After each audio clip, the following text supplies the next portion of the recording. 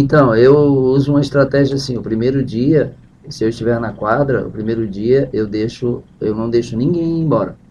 Ele entra, ele brinca, ele socializa, pode ser adulto, pode ser sub 5, 7. Uhum. É, tá- eu deixo o primeiro dia, até para que eles tenham né, aquele primeiro impacto, aquele Claro. primeiro contato, e de repente não é aquilo que eles queriam, Aham. e aí de repente eles desistem, né? Sim, sim. Mas não querendo que isso aconteça, mas tentando dar uma chance Sim, e não frustrá-los, né? Porque eles vêm numa expectativa muito grande. Então aí a gente procura, no primeiro momento, deixar participar, mesmo que tenha que colocar um coletezinho lá, né?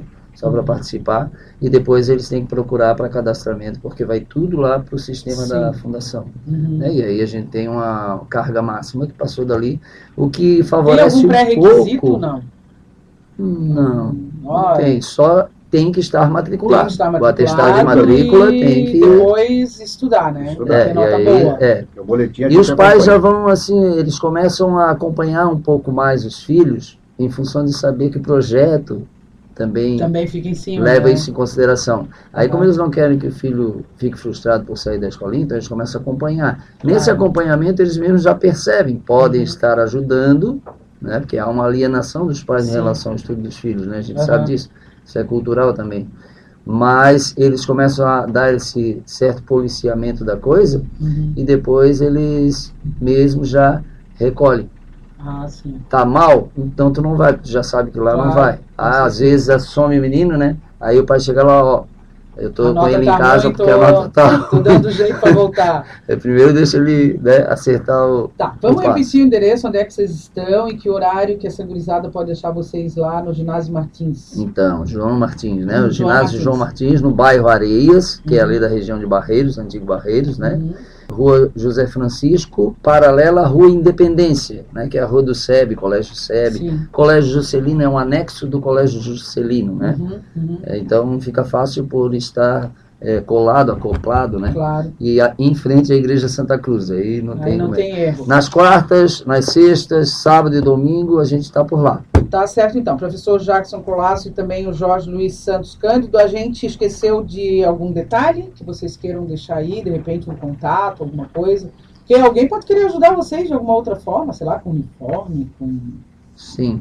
É, eu ficaria, eu acho que o número de contato do diretor de esportes, né? É, pode passar o número do WhatsApp, né?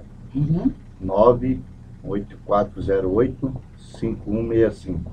Tá, vamos repetir. 9 98408 5165. Esse telefone é de quem? Jorge, meu. Ah, esse é o telefone. E Jorge, não vai parar de tocar teu telefone. Teu WhatsApp agora vai explodir. então esse é o telefone. E você aí que, ó, que é empresário, pode ajudar.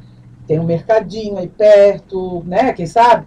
Alguma coisa que der pra gurizada comer, uniforme, enfim, tem um monte de coisa que dá pra ajudar bola. Não precisa ser só com dinheiro, né? Tem um monte de coisa que provavelmente Sim, vocês ó. devem, É. né? Se alguém Muitos tiver. não têm o tênis, né? Pra, né, Se a Tênis. gente tivesse pelo menos em estoque ali uns dois pares de cada número, né? Uhum. De, Ó, então daí, ó, já você é seria empresário uma que tem, coisa- que tem comércio aí pela, pela Seria região de ótimo. São José, e aí eles vão lá, vão falar, vão botar, sei lá, uma faixa, vão botar na camisa, qualquer coisa, sempre dá jeito de botar o nome de vocês. Tá certo? Professor Jorge, é, professor Jackson Colasso, professor do projeto Associação Jovem Atleta Peregrino, e também Jorge Luiz Santos Cândido, que é o presidente da associação. Muito obrigada. Parabéns pelo trabalho de vocês.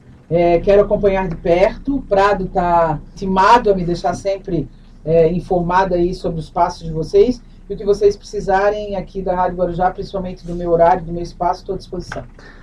Agradecer, né, de minha parte aí a gentileza, Imagina. né? A simpatia com quem nos recebeu. É obrigação nossa, enquanto formadores de opinião, botar esse projeto aí para todo mundo conhecer, com certeza. E dizer que a gente está lá à disposição. agradecendo. Né? Todas as crianças agradecem pelo, pela oportunidade de falarmos um pouco da nossa Claro. Tá bom então. Obrigado.